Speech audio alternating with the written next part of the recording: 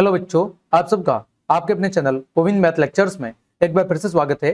तो प्रिय विद्यार्थियों, आज की इस क्लास में हम कक्षा छह और सात गणित विषय की वर्कबुक के कार्यपत्रक अट्ठानवे को हल करना सीखेंगे।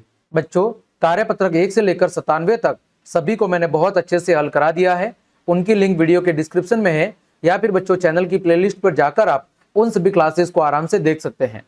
बच्चों, आज के इस कार्यपत्रक में हम भाग की समझ को विकसित कर पाना सीखेंगे कि भाग की प्रक्रिया कैसे की जाती है। तो बच्चों, चलिए क्लास शुरू करते हैं। देखो बच्चों, पहला प्रश्न है, भाग कीजिए। क्या करना है बच्चों आपको? भाग करना है। बच्चों, संख्या दी हुई है 826 इसमें भाग देना है 12 का। तो बच्चों, सबसे पहले आप क्या करें? इधर 12 का साइड में पहाड़ा लिख ले। ठीक है? बारह एकम बारह बारह दूनी चौबीस बारह तिया छत्तीस बारह चौक अड़तालीस, बारह पंजे साठ बारह सिंह बहत्तर बारह सत्य चौरासी, बारह अट्ठे छियानवे, बारह नम एक सौ आठ और बारह धाम एक सौ बीस। अब देखो बच्चों, पहली संख्या कितनी है? बयासी। बच्चों, क्या बारह के पाड़े में बयासी आता है? तो बच्चों, नहीं आता, लेकिन उससे कम आता है बहत्तर।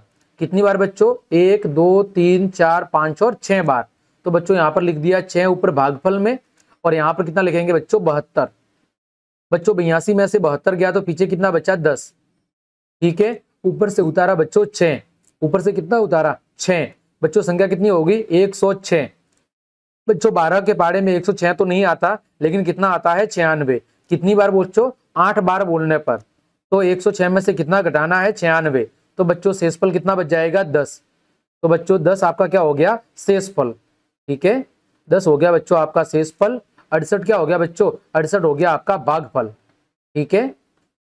अड़सठ हो गया भागफल और बच्चों, दस हो गया शेषफल। आगे बढ़ते हैं बच्चों, दूसरा है ख। यहाँ पर देखो बच्चों, बीस का भाग देना है 560 में। तो बच्चों, बीस का पारा इधर लिख लो। बीस, चालीस, फिर साठ, फिर अस्सी, फिर सौ। तो देखो बच्चों, यहाँ पर कितना है? छप्पन। तो बीस के पाड़े में छप्पन तो नहीं आता, लेकिन कितना आता है? चालीस। कितनी बार? दो बार बोलने पर। तो छप्पन में से कितना घटाना है? चालीस। छह में से ज़ीरो गया तो छह, पाँच में से चार गया तो एक। फिर बच्चों, ऊपर से उतारा ज़ीरो। 160 तो बच्चों 20 के पार्डे में 160 कब आता है बच्चों? आठ बार बोलने पर आता है 160 तो बच्चों 160 में से 160 गया तो शेषफल कितना बच गया? ज़ीरो। और बच्चों, भागफल कितना आ गया? 28 आगे बच्चों है ग। किसका भाग देना है बच्चों? 22 का। तो बच्चों 22 का पाड़ा लिख लो। बाईस एकम बाईस बाईस दूनी चुम्बालीस बाईस तिया छासठ बाईस सौ अठासी बाईस पंजे एक सौ दस, एक सौ बत्तीस एक सौ चौवन, एक सौ छिहत्तर, फिर एक सौ अंठानवे और बच्चों दो सौ बीस। ठीक है? अब देखो बच्चों, बाईस के पारे में अंठानवे आते हैं क्या? नहीं आते। क्या आता है? अठियासी। कितनी बार? चार बार बोलने पर। अंठानवे में से अठियासी गया तो कितना बचा? दस। ऊपर से उतारा ज़ीरो। कितना हो गया? सौ। बच्चों, सौ नहीं आता, लेकिन कितना आता है? अठियासी। कितनी बार बोलने पर? चार बार। सौ में से अठियासी गया तो कितना बचा? शेषफल बारह। ऊपर से उतारा सात। 127 बच्चों 22 के पाड़े में 127 तो नहीं आता। कितना आता है? 110 कितनी बार बोलने पर? पाँच बार। तो 127 में से 110 को घटाना है तो बच्चों, शेषफल कितना आ जाएगा? सत्रह। सत्रह शेषफल और भागफल कितना आ गया? 445 आगे बढ़ते हैं बच्चों। भाग कीजिए। क्या करना है बच्चों? आपको भाग करना है। देखो बच्चों 438 में भाग देना है नौ का। और फिर गुणा के द्वारा अपने उत्तर की जाँच भी करनी है। तो बच्चों, चार सौ अड़तीस में किसका भाग देना है? नौ का। तो बच्चों, चार सौ अड़तीस को हम ऐसे लिख लेंगे। किसका भाग देना है? नौ का। बच्चों, नौ चौक छत्तीस। कितना? नौ चौक छत्तीस। बच्चों, तैतालीस में से छत्तीस जाएगा, कितना बचेगा? सात। ऊपर से उतारा आठ। बच्चों, नौ अट्टे बहत्तर। ठीक है? नौ अट्टे बहत्तर। तो बच्चों, शेषफल कितना बच गया? छह भागफल कितना आ गया? अड़तालीस। ठीक है? अब बच्चों में क्या करना है? अब बच्चों में जाँच के लिए नौ गुणा अड़तालीस करना है और साथ में कितना जोड़ना है? छह। तो बच्चों, जब हम नौ का अड़तालीस से गुणा करेंगे और छह को जोड़ेंगे तो बच्चों, जब नौ का अड़तालीस से गुणा करेंगे तो यह आएगा चार सौ बत्तीस प्लस छ तो कितना हो जाएगा? चार सौ अड़तीस। ये होगी बच्चों जाँच। गुणा के द्वारा आपको जाँच भी करनी है। तो बच्चों, क्या हो गया? भाजक गुणा भागफल प्लस शेषफल। भाजक गुणा भागफल प्लस शेषफल। तो बच्चों, नौ क्या है? नौ है आपका भाजक। क्या है बच्चों? भाजक। अड़तालीस क्या है बच्चों? भागफल।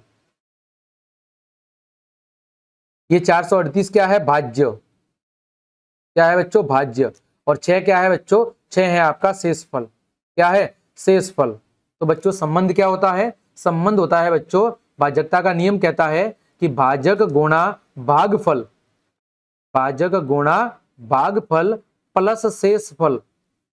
भाजक गुणा भागफल प्लस शेष फल बराबर क्या होता है? भाज्य होता है। भाज्य बराबर भाजक गुणा भागफल प्लस शेष फल। इस तरह आपको जाँच करनी है। आगे बच्चों, ख। बच्चों 900 में किसका भाग देना है? 10 का। तो बच्चों, बिल्कुल सरल है। ज़ीरो से ज़ीरो कट जाएगा। आपका जो भागफल है वो कितना आ जाएगा बच्चों? नब्बे। और शेषफल कितना आएगा? ज़ीरो। तो बच्चों, हम जाँच कैसे करेंगे? बच्चों, जाँच करेंगे भाजक। भाजक कौन है? भाग किसका दे रहे थे? दस का। भागफल कितना है? नब्बे। शेषफल कितना है? ज़ीरो। तो बच्चों, भाज्य कितना आ जाएगा? नौ सौ। यानी हमारा उत्तर सही है। आगे बच्चों, तीन हज़ार चार सौ अस्सी में भाग देना है बारह का। तीन हज़ार चार सौ अस्सी और बच्चों, भाग देना है बारह का। बच्चों, बारह दूनी चौबीस। पीछे कितना बच्चा दस। ऊपर से उतारा आठ। ठीक है? कितना हो जाएगा बच्चों? बारह नम एक सौ आठ। कितना हो गया? ज़ीरो। ऊपर के देखो, एक ज़ीरो शेष बच रहा है तो बच्चों यहाँ पर लगा देंगे हम ज़ीरो। ठीक है? अब बच्चों जाँच कैसे करेंगे? तो बच्चों जाँच के लिए हम कर देंगे भाजक कितना है? बारह। भागफल कितना है? दो सौ नब्बे। शेषफल कितना है? ज़ीरो। तो बच्चों ये किसके बराबर होगा? तीन हज़ार चार सौ अस्सी के बराबर प्राप्त होगा। आगे बच्चों ग है, छह सौ अठहत्तर में भाग देना है छह का। तो बच्चों, छह सौ अठहत्तर भाग देना है छह का। बच्चों, छह एकम छह छह में से छह गया तो ज़ीरो। ऊपर से उतारा सात, छह एकम छह। सात में से छह गया तो एक, ऊपर से उतारा आठ। छह, तिया, अठारह। अठारह में से अठारह गया तो बच्चों, कितना बचा? ज़ीरो बचा। अब बच्चों, जाँच कैसे करेंगे? तो बच्चों, जाँच के लिए हम करेंगे छ गुणा एक सौ तेरह प्लस ज़ीरो। तो कितना हो जाएगा बच्चों? छह सौ अठहत्तर। ठीक है? आगे बढ़ते हैं बच्चों। प्रश्न संख्या तीन। गुणा कीजिए और भाग के द्वारा अपने उत्तर की जाँच भी करिए। तो बच्चों, आपको क्या करना है? गुणा करना है। इसका गुणा करना है बच्चों? 21 गुणा सोलह। तो बच्चों, जब आप 21 का गुणा 16 से करोगे तो कितना आएगा? 336 बच्चों, गुणा करना हमने पहले भी सीखा है तो मैं बार बार गुणा करके आपको नहीं बता रहा। आगे बच्चों, सतहत्तर गुणा दस। तो बच्चों, क्या हो जाएगा? पीछे एक ज़ीरो जुड़ जाएगा। तो सतहत्तर गुणा दस। कितना हो जाएगा बच्चों? सात सौ सत्तर। ठीक है? अब बच्चों देखो, अगर आपको जाँच करनी है तो जाँच कैसे कर सकते हो बच्चों? जैसे 336 आया, अब बच्चों 336 में यदि आप 21 का भाग दोगे, किसका भाग दोगे? 21 का। तो भागफल कितना आएगा? 16 और यदि 336 में 16 का भाग दोगे तो भागफल कितना आएगा? 21 आएगा। इसी तरह बच्चों, यहाँ पर जाँच करने के लिए हम क्या करेंगे? 770 में किसका भाग देंगे? यदि हम 10 का भाग देंगे, यदि 770 में हम 10 का भाग देंगे तो भागफल कितना आएगा? 77 और यदि 770 में हम 77 का भाग देंगे तो भागफल कितना आएगा? 10 ठीक है? इस तरह हमारी जाँच हो जाएगी। आगे बच्चों, तिरानवे गुणा बारह। बच्चों, तिरानवे का गुणा जब हम बारह से करते हैं तो बच्चों कितना आता है?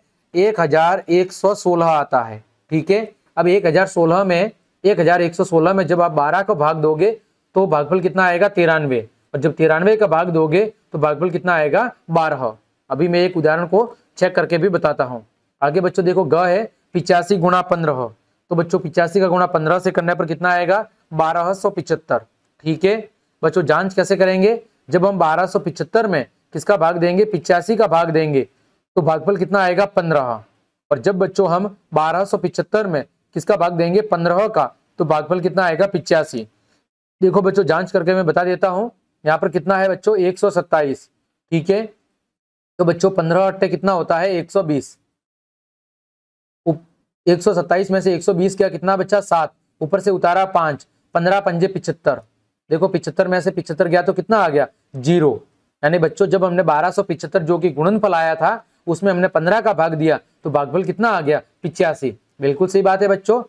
भाजक गुणा भागफल, पंद्रह गुणा पिचासी, किसके बराबर आ रहा है? बारह के बराबर आ रहा है। इस इस तरह हम क्या कर सकते हैं? जाँच भी कर सकते हैं। तो इस तरह बच्चों, हमने आपके तीसरे प्रश्न को अच्छे से हल कर दिया है। आगे बढ़ते हैं बच्चों, प्रश्न संख्या चार। यदि एक बर्तन में 4500 मिलीलीटर दही है तो इससे 25 मिलीलीटर धारिता वाले कितने गिलास भरे जा सकते हैं? तो बच्चों, हम क्या करेंगे? बच्चों 4500 में किसका भाग देंगे? 25 का। इसका भाग देंगे 25 का। तो बच्चों, देखो 4500 को मैं कैसे लिख सकता हूँ? 45 गुणा सौ। बट्टे में क्या लिख सकता हूँ बच्चों? 25 देखो बच्चों 25 से कम 25 और 25 से 100 कितनी बार कटेगा? चार बार। बच्चों, क्या होगा? 45 गुणा चार। तो बच्चों 45 का गुणा दो से करते हैं तो 90 90 का दुगुना कितना हो जाएगा बच्चों? 180 यानी हम 4500 मिलीलीटर दही से 25 मिलीलीटर गिलास वाले कितने गिलास भर सकते हैं? 180 गिलास भर सकते हैं। ठीक है? 4500 लीटर मिलीलीटर दही से हम 25 मिलीलीटर धारिता वाले 180 गिलास भर सकते हैं। तो बच्चों, इस तरह हमने आपके कार्य पत्रक अंठानवे के सभी प्रश्नों के उत्तर बहुत अच्छे से जान लिए हैं। उम्मीद करता हूँ सभी प्रश्नों के उत्तर आपको अच्छे समझ में आए होंगे। तो क्लास देखने के लिए आप सभी का धन्यवाद। यदि आपको मेरी क्लास और मेहनत पसंद आई है तो बच्चों, लाइक, कमेंट, शेयर और सब्सक्राइब ज़रूर करें। आज के लिए इतना ही। जय हिंद, जय भारत।